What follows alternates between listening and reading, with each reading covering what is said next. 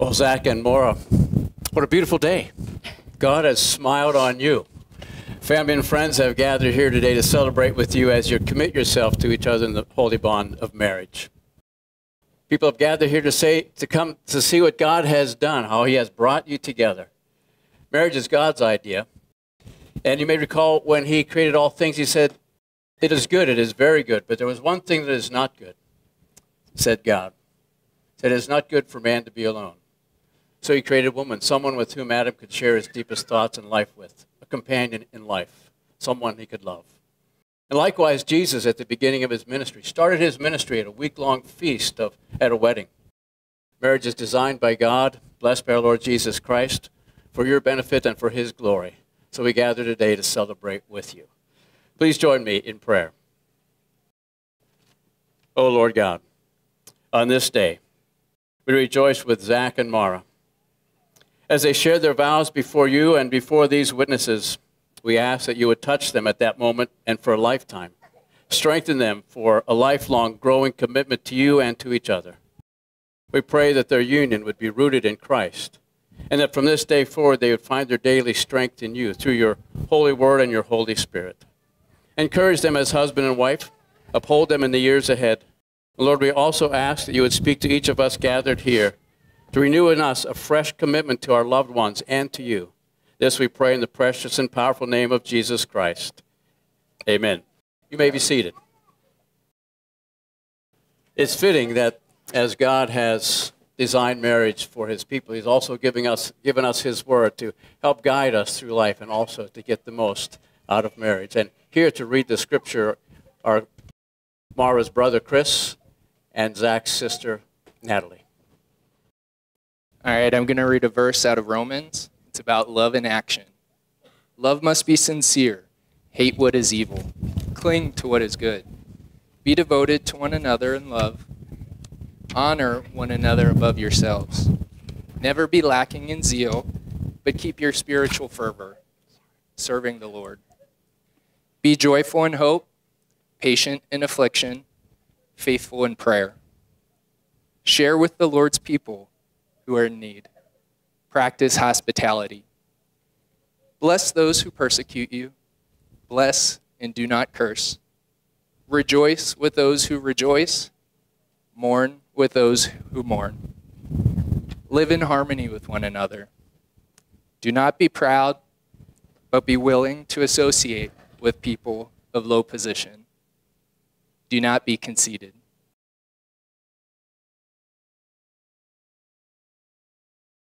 Going to read from 1 John chapter 4 verses 7 through 9. Dear friends, let us love one another, for love comes from God. Everyone who loves has been born of God and knows God. Whoever does not love does not know God, because God is love. This is how God showed his love among us. He sent his one and only Son into the world that we might live through him. Thank you. Marriage was designed by God to grasp the richest blessings of His love. And as you walk through this adventure of life as husband and wife, as you seek Him first, and as you invite Him to be part of your life together, it will be a blessing. You'll know the fullness of life that He has for you. God's design for marriage is that each of you would grow and thrive, that you would flourish as husband and wife your marriage holds the greatest promise, and we gather today to witness how, you have, how love has brought you to this point and to wish you God's best as you proceed from this day as husband and wife. In Genesis 2:24, God says this, "For this reason a man shall cleave shall leave his mother and father and shall cleave to his wife, and the two shall become one flesh." The idea of leaving all behind and holding on to one another, clinging to each other's highest good, and working toward that oneness that God has spoken about in this passage. You must hold on to each other, hold on to each other's beauty, and hold on to each other's greatest aspirations. Fan each of those into flame. Hold on to the bond that God is creating in you and never let go. That word for cleave and, and to hold on to is the same word that God uses for us as his people, that we are to cling to God, just as he holds on to us and never lets go.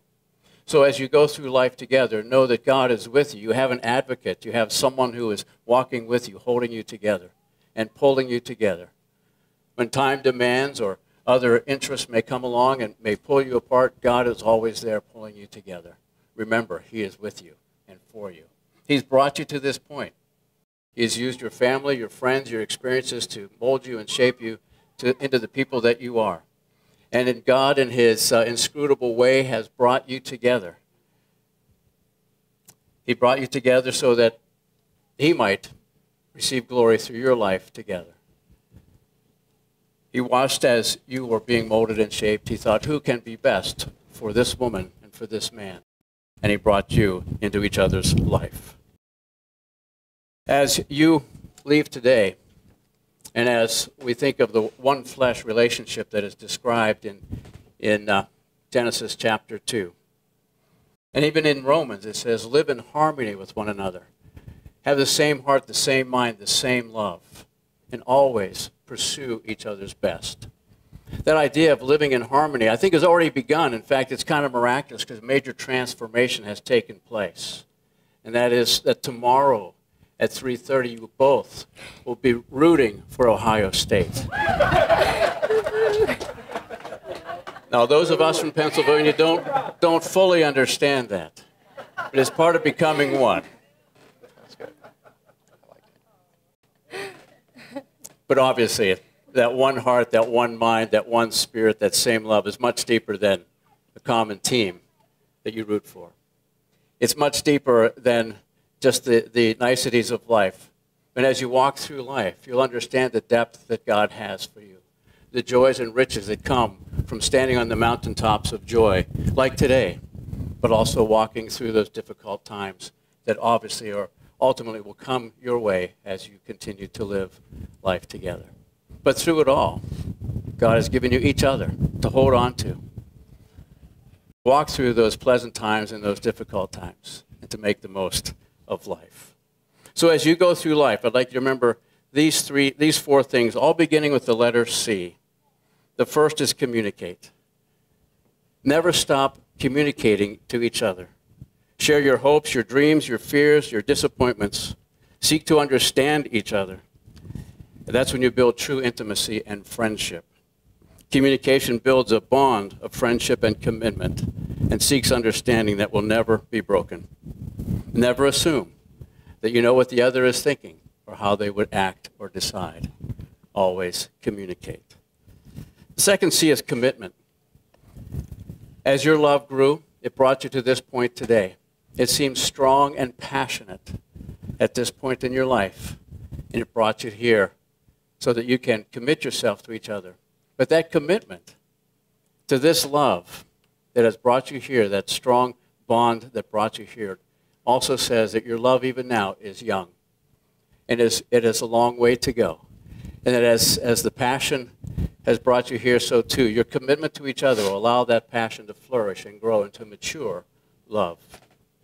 Gary Thomas, in his book Sacred Marriage, wrote this How we face the challenges, joys, and str- struggles and celebrations of marriage. How we face those with faith it can cause us to draw closer to God and grow in Christian character. He makes the point that marriage is not just about our happiness, but our holiness, becoming more and more like Christ, becoming the man, the man and the woman God wants you to be. And W.H. Auden said like this Like everything which is not the involuntary result of fleeting emotion, but the creation of time and will, any marriage, happy or unhappy, is infinitely more interesting than any brief romance, however passionate. So, over time and, and applying yourselves day by day to truly love each other from the heart will allow that commitment to grow and your love to grow and flourish into what God has for you. The third C is community. Obviously, you have family and friends here that have loved you and have encouraged you, and they're here to celebrate with you. But as you leave today, as you begin your life together, find that community where, where you are that can encourage you and strengthen you. You both have said that your faith is one of the things that brought you together. You share a common faith, a common salvation in Jesus Christ, a common Lord. So as you find that community, Be around people that can encourage you to love your, the Lord your God with all your heart, mind, soul, and strength. And likewise can encourage you to love each other as Christ loved the church. It's imperative that we have those people that can lift us up and encourage us to do what God would have us do. The fourth at C is this center your life in Christ. Keep Christ the center of your life and home. Marriage was and is God's idea. And as you keep him the center of life, you will know the abundant joy that he offers. With Christ as the center of, of your life, there's no obstacle that's insurmountable and no joy that's not, that is not yours. Through him, you will find strength, wisdom, and character to accomplish all that God has for you in life. Remember this passage, Matthew 6:33, which says, "Seek first his kingdom and his righteousness, and all these things shall be added to you." In your marriage and in all and in your life, seek first Christ's blessing. Now, Zach and Maura, I know that both of you are fairly competitive. One of you more competitive than the other. So, in today's reading, there was a challenge that I think you will both appreciate. It says this outdo one another in showing love and honor. So, as you go through life together, work to outdo one another day by day. Apply your will, your time, your effort, your resources to truly loving each other. As you leave today as husband and wife, as the two of you become one flesh, may your life together be a God sized adventure. And never settle for anything less. It is fitting in the light of God's word that Zachary and Maura affirm their commitment to each other in the sanctity of this place and in the presence of all gathered here. If you'll please answer this, these questions, Zach. Zach, will you have Maura to be your wife? Will you pledge your faithfulness to her? Will you love and honor her, and will you promise to live with her in a manner consistent with the Word of God as you live in the holy bond of marriage? If so, please answer, I will. I will. And Maura, if you'll answer these questions as well. Maura, will you have Zachary to be your husband? Will you pledge your faithfulness to him? Will you love and honor him, and will you promise to live with him in a manner consistent with the Word of God as you live in the holy bond of marriage? If so, please answer. I will. I will. Having heard this statement of intent, who gives this woman to be married to this man?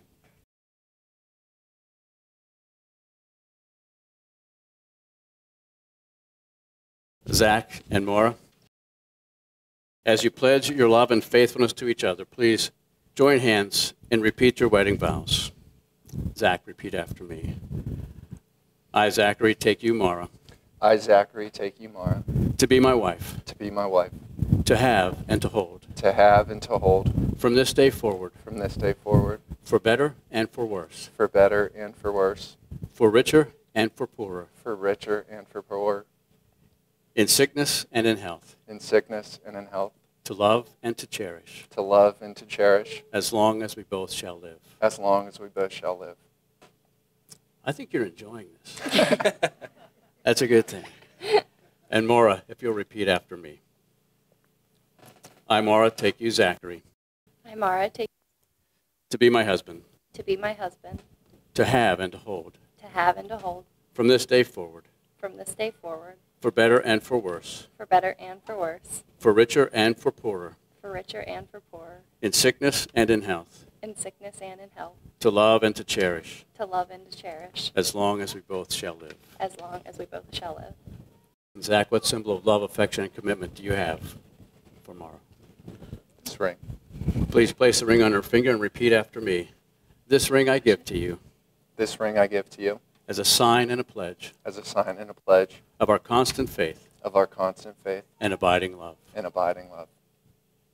And Maura, what symbol of love, affection, and commitment do you have? This ring. Please place the ring on his finger and repeat after me. This ring I give to you This ring I give to you as a sign and a pledge as a sign and a pledge, of our constant faith as our constant faith and abiding love. and abiding love. As we celebrate your vows, I invite Elaine Kerr to come and sing the prayer.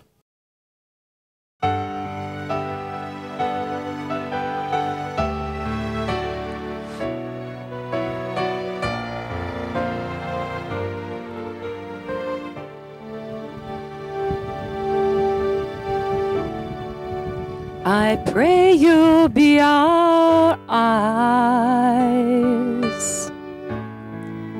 and watch us where we go and help us to be wise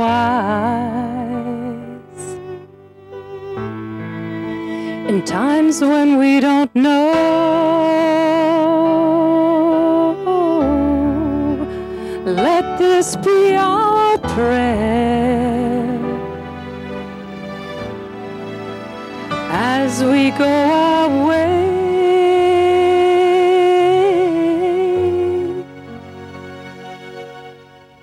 Lead us to a place, guide us with your grace to a place where we'll be safe. I pray we'll find your light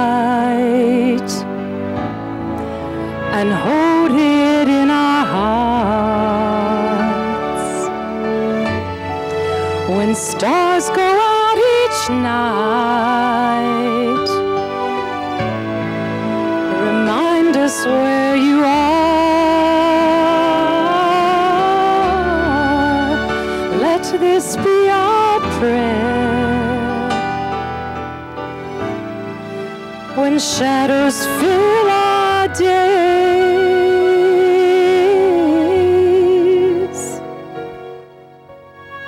lead us to a place, guide us with your grace to a place where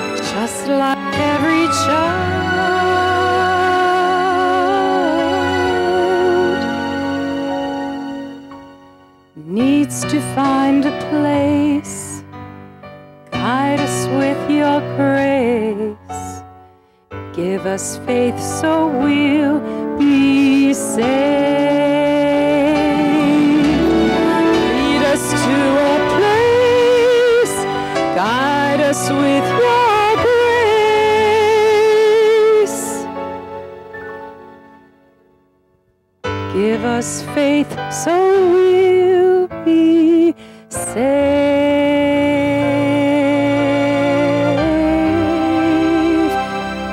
Be safe.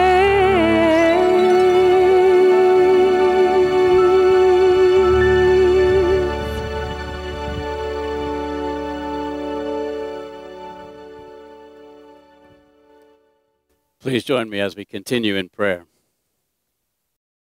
Almighty and loving Father, God of wisdom, we believe that you have established marriage for the happiness and joy of your people. Marriage is your plan, and as we are faithful to our vows, it remains a blessing.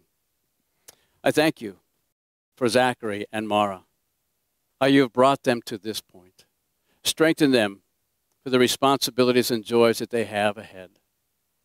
We pray that their, their home would be rooted and established in Jesus Christ, and that the Holy Spirit would fill them with a love for each other that will sustain them in the difficult times and prepare them for the work you have for them in the world in which they live. And Lord, we pray you would help them seek first your kingdom and your righteousness, knowing that in so doing, all of life's necessities will be theirs as well. Lord, thank you for how you have brought them together.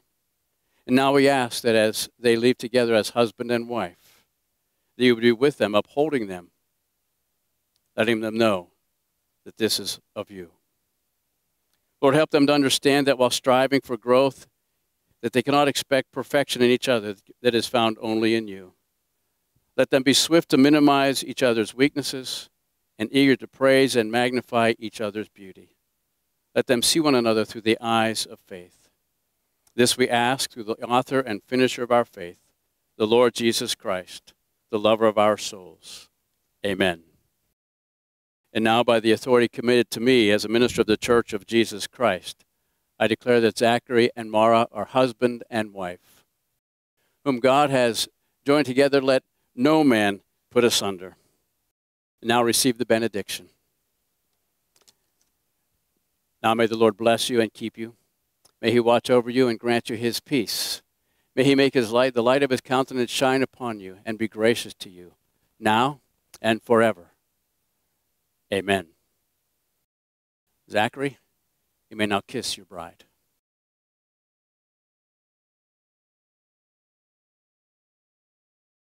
Family and friends of Zach and Maura, I now present to you Mr. and Mrs. Zachary Delo.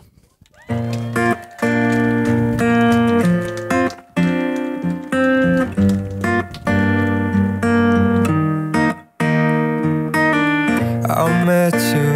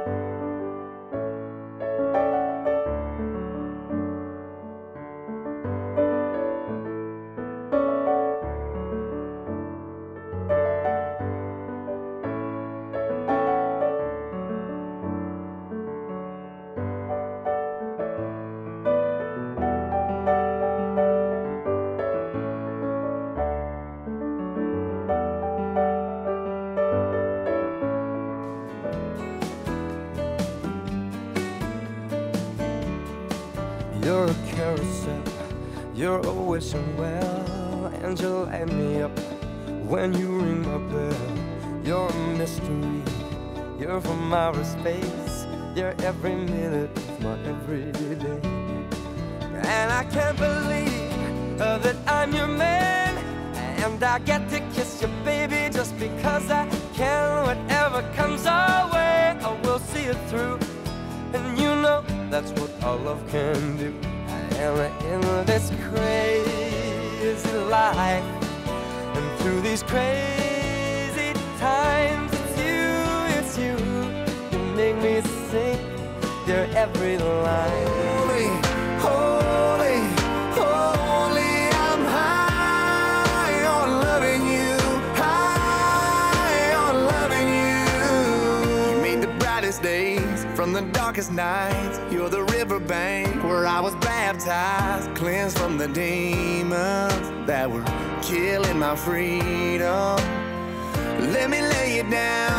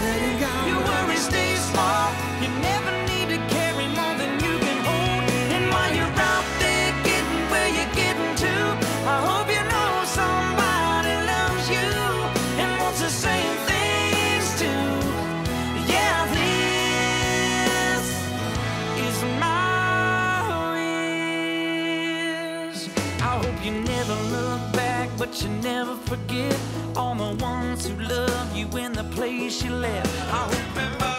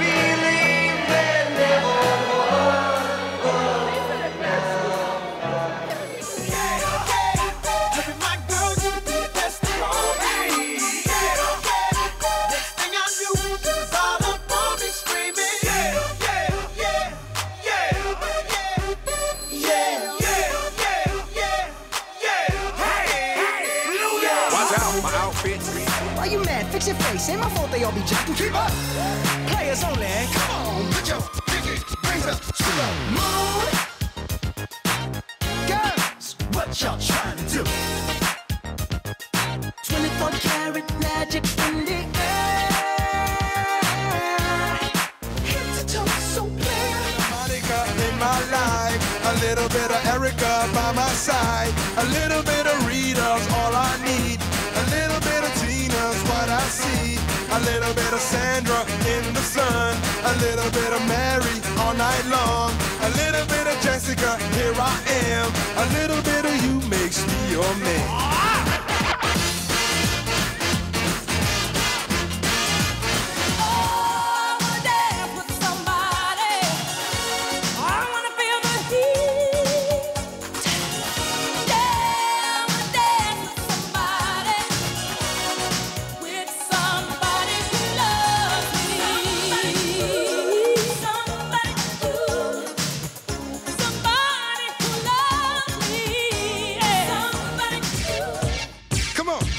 Cha cha now, y'all.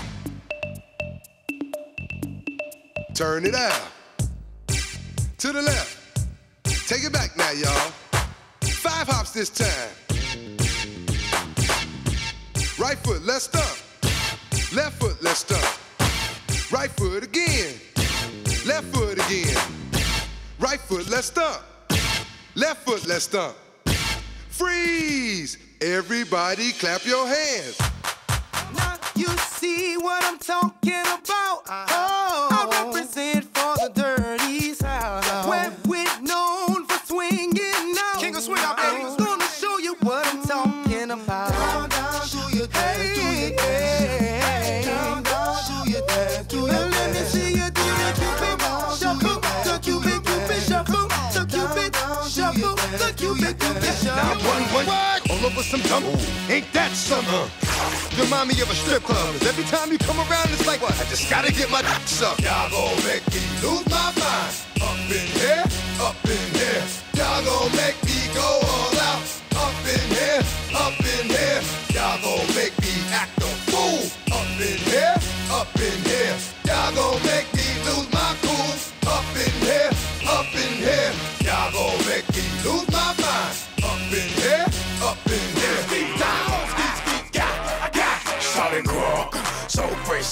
clean. She cut that question been harassing me in the mind?